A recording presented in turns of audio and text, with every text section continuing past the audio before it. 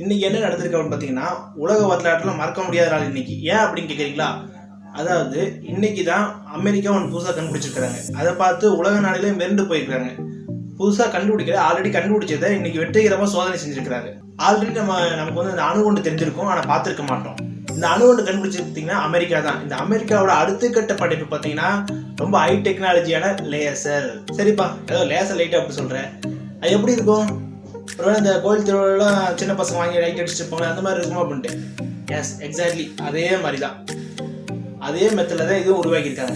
முப்பது ரூபாய்க்கு ஒரு லேசர் லைட் வாங்கிட்டு நம்ம செல்ஃப் ட்ரிப்பில் அடிச்சு விளையாடுவோம் பார்த்தீங்களா? கரெக்டாக குறி பார்த்து அதே மெத்தட் தான் இதுலேயும் ஃபாலோ பண்ணியிருக்காங்க அதாவது லேசர் லைட் பார்த்தீங்கன்னா கண்ணுக்கே தெரியாது ஆனால் ரொம்ப அதிக சேதத்தை ஏற்படுத்தும்.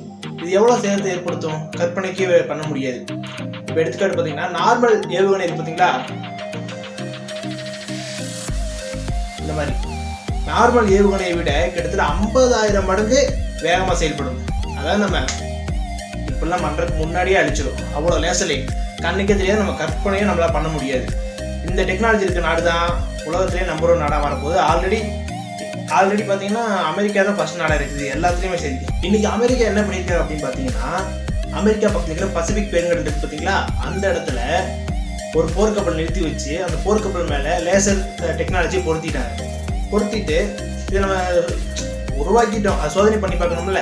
அதனால என்ன நினைக்கிறேன் ஒரு ஆளில்லா விமானம் அதாவது ட்ரோன் சொல்லுவாங்க பார்த்தீங்கன்னா அந்த மாதிரி ஆளில்லா விமானத்தை மேலே பறக்க வச்சு இந்த லேசரை வச்சு கரெக்டாக குறிப்பாத்திருக்காங்க குறிப்பாத்து கரெக்டாக தாக்கியிருக்காங்க. அவங்க நினைச்சதை விட ரொம்ப சிறப்பாகவே தாக்கியிருக்குது. அதனால தான் உலக நாடுகளும் ரொம்ப பீதி அடைஞ்சிட்டாங்க. இந்த லேசர் லைட் மூலமாக பார்த்தீங்கன்னா ஆள் இருக்கிற விமானமோ ஆள் இல்லாத விமானமோ பறகு எது பிறந்தாலும் சரி எது நின்னாலும் சரி மின்னல் வேகத்தில் தாக்கிடும் நம்மளால கற்பனையே பண்ண முடியாது. அந்த வேகத்தில் ஒளியின் வேகத்தில் தாக்குதுன்னா எவ்வளோ வேகமும் நீங்களே கற்பனை பண்ணி பார்த்துக்கங்க. ஆனால் கற்பனை பண்ண முடியாத அளவு வேகமாக இருக்கும். இந்த வீடியோ உங்களுக்கு பிடிச்சிருந்தா லைக் பண்ணுங்க கமெண்ட் பண்ணுங்க ஷேர் பண்ணுங்க.